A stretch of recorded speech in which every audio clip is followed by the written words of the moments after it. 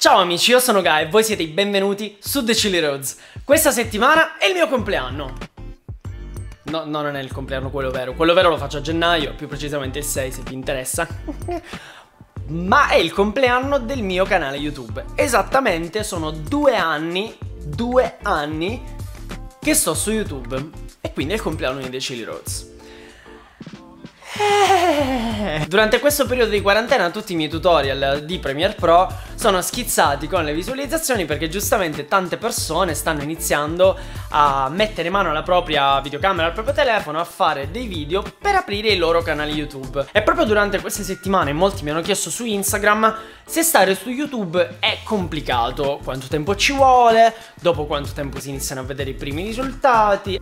Eh. Allora, partendo dal fatto che non posso parlare di grandi risultati perché il mio canale è piccolino e cresce gradualmente nel tempo, quindi non sono il figlio dell'esplosione come succede a molti. Se dovessi rispondere così su due piedi a quelle domande, la prima risposta che mi verrebbe da dare di pancia sarebbe sì. Stare su YouTube è estremamente difficile.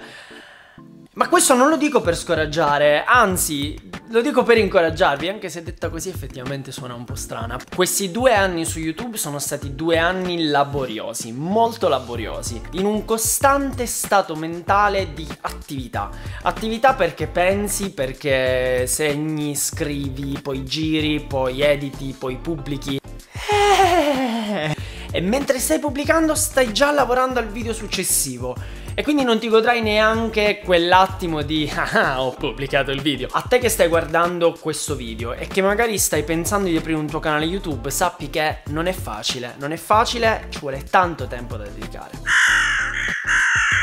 Allo stesso tempo, dopo due anni su YouTube, un po' come capita quando faccio le recensioni a distanza tipo di mesi o di un anno, di che, che ne so, di attrezzatura foto-video, voglio fare una recensione della mia esperienza. Recensione si fa per dire. Però questi due anni hanno avuto davvero tanti, tantissimi aspetti positivi.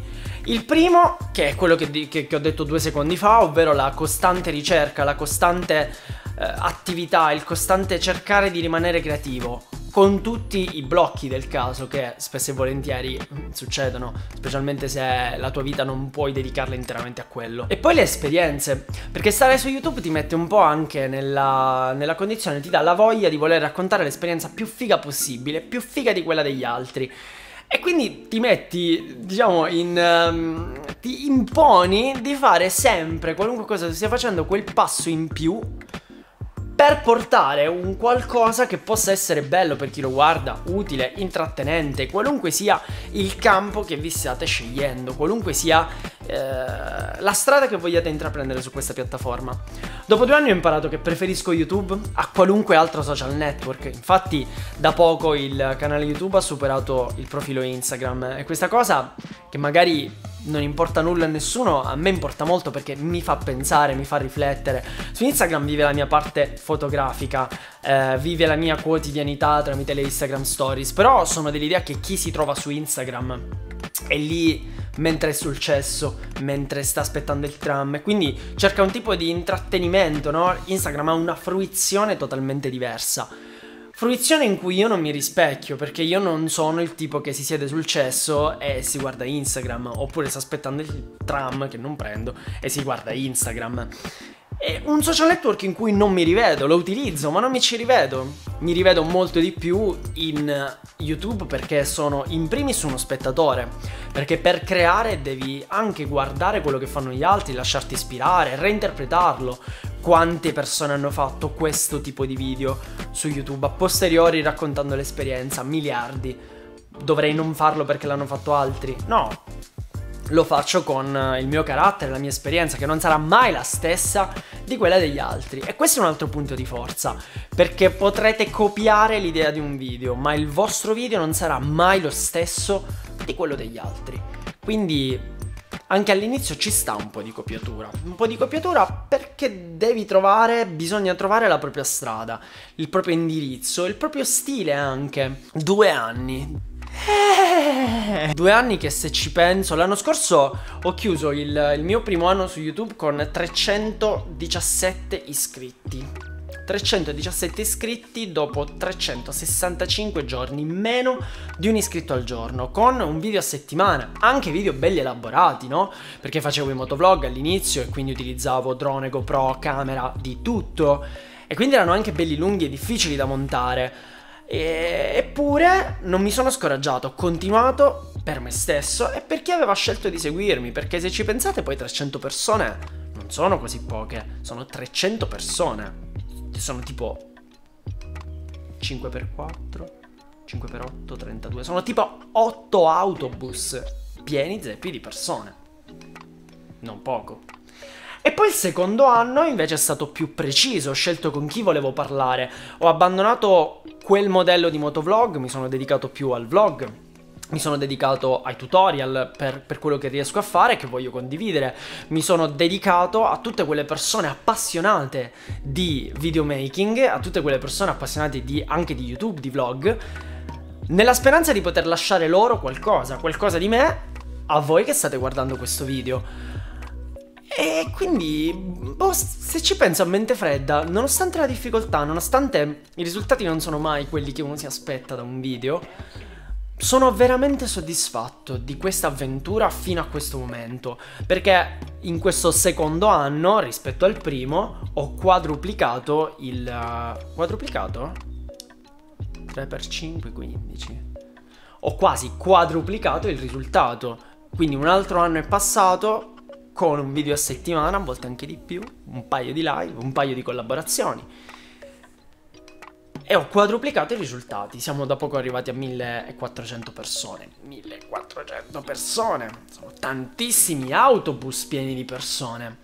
Questo però vuole essere un video onesto, spontaneo, da, dal profondo del cuore per incoraggiare chiunque veramente voglia investire il proprio tempo in una strada complicata ma ricca di soddisfazioni sul lungo termine. YouTube è costanza e rigore soprattutto. Perché non è facile nel mio caso, per esempio, scrivere uno script dopo 10 ore in ufficio, girare il sabato, l'unico giorno libero, montare la domenica, l'unico giorno libero, quindi in realtà i giorni liberi sono due, avere una relazione, una convivenza e cercare di mixare tutto questo per creare un equilibrio. Quindi serve il rigore, serve la possibilità, la capacità di scandire i tempi, serve la consapevolezza che a volte ti devi fermare, devi rallentare e quindi magari metti un freno alle tue pubblicazioni perché magari stai sbilanciando altro. E la frustrazione, per esempio, è stato un altro dei sentimenti che ha accompagnato la, la mia esperienza.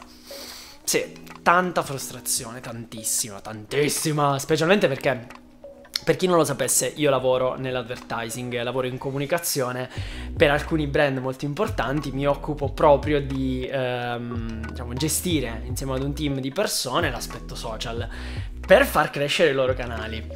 Faccio strategie su YouTube, faccio strategie su, su, su Instagram, su Facebook, insomma, quindi diciamo che faccio anche un po' quel lavoro.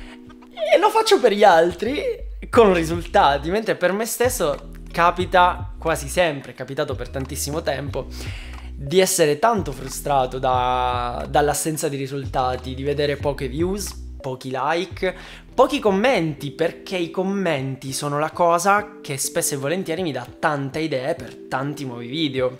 Gli ultimi, per esempio, la maggior parte degli ultimi video sono tutti nati da un commento che mi avevano lasciato, eh, che mi avevate lasciato voi. Non è facilissimo, non è facilissimo.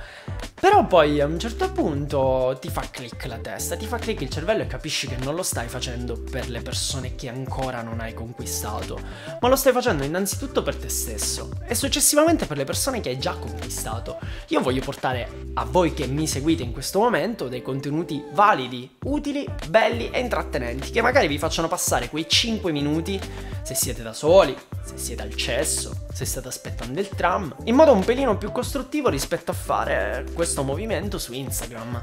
E per questo anche ho smesso di pubblicare le fotografie, ragazzi, ve lo dico, off topic. Ho smesso di pubblicare le fotografie perché magari per fare uno scatto, uno, mi facevo tipo 200 km. C'è un video proprio dove mi faccio non 200, ma tipo un'ottantina di chilometri ad andare una a tornare. Per fare una fotografia, una fotografia bellissima, una stampata. Che poi pensare che le persone stanno lì mentre cagano e fanno swipe. Mi turba. Per che cosa? Per tipo, non lo so, 200 like? No, non fa per me. Non fa per me. Preferisco, mm, preferisco avere poche visualizzazioni ma sapere che due persone hanno guardato un video nella sua interezza, l'hanno trovato utile, l'hanno trovato di ispirazione. Questo comunque è una soddisfazione più grande, più grande. Non so se un giorno The Chili Rose esploderà avendo un milione di follower, non mi interessa, non mi interessa oggi eh, sapere se così sarà. Mi interessa essere soddisfatto di me stesso quando, guardo, quando mi guardo allo specchio, quando guardo il mio canale e i contenuti che sono riuscito a realizzare nel tempo e cercare di farlo sempre al meglio possibile. Quindi tornando alla, alla domanda, YouTube è difficile? Sì. Ne vale la pena? Se avete qualcosa da dire, se sentite il bisogno di raccontare le vostre storie, di condividere le vostre competenze, ne vale la pena. Comunque, basta, basta il momento sentimentale. L'anno scorso ho fatto un video pazzesco eh, tipo troppo sentimentale, con tutte le volte che dico ciao amici, io sono Guy, voi siete benvenuti su The Chili Rose. Ed è bellissimo, bellissimissimo quel video, mi pare che adesso è in highlight sul, sul canale. Quest'anno, ovviamente, causa quarantena, non, non lo farò. Però, però, Comunque volevo festeggiare questi due anni e sto lavorando alla nuova brand identity del canale, la nuova sigla, le nuove grafiche, il nuovo logo, insomma tanta roba nuova di questo tipo. Ovviamente non potendo fare riprese non posso ancora farvi vedere la sigla che è pronta ma non l'ho girata, quindi... Ah. Vabbè ragazzi, arriverà. Um, vi auguro di iniziare presto questa o altre avventure e di trarne le soddisfazioni, piccole soddisfazioni, quotidiane soddisfazioni, direttamente proporzionali e neanche sempre al vostro impegno quotidiano, a quello che ci mettete. Ve lo auguro con tutto il cuore. È stato bello fare questo video, Uff, mi sento liberato. Basta video di pancia, il prossimo facciamo un tutorial come tappare le bottiglie. Però il prossimo se volete facciamo un tutorial, quindi fatemelo sapere nei commenti. Grazie per essere stati con me ragazzi, per questo video e per i due anni trascorsi per chi mi segue dall'inizio. Ci vediamo nella prossima puntata, ci vediamo sulla strada, chilli!